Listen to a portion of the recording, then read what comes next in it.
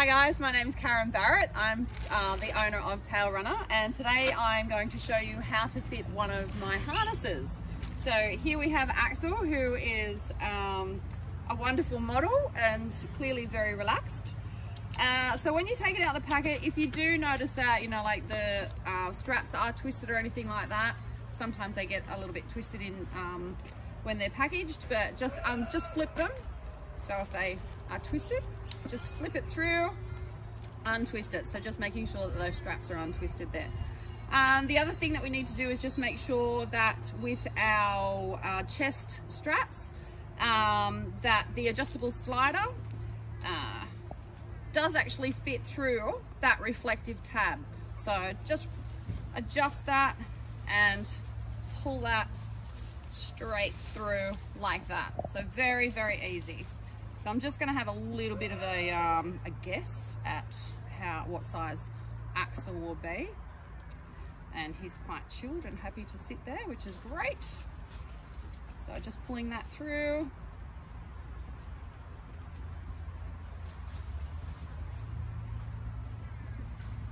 Through like that. Try and get them as even as you possibly can. And then with our, um, our straps for our girth. Okay, just adjusting those up.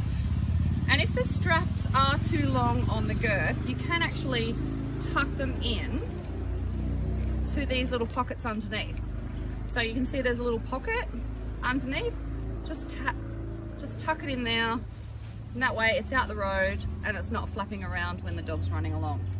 So, um, Axel, Axel, you can clearly see he's very excited. Thanks, mate. Okay. You're such a good boy. So we're just going to see, make sure that the straps are the right length. Now with, and that's actually not too bad. So you don't want them too tight, okay? So this is a, a medium, and normally I would actually use a small on Axel, being such a small dog and Axel's very much the athlete as you can see. Um, but yeah so you don't want it too tight but you also don't want it too loose.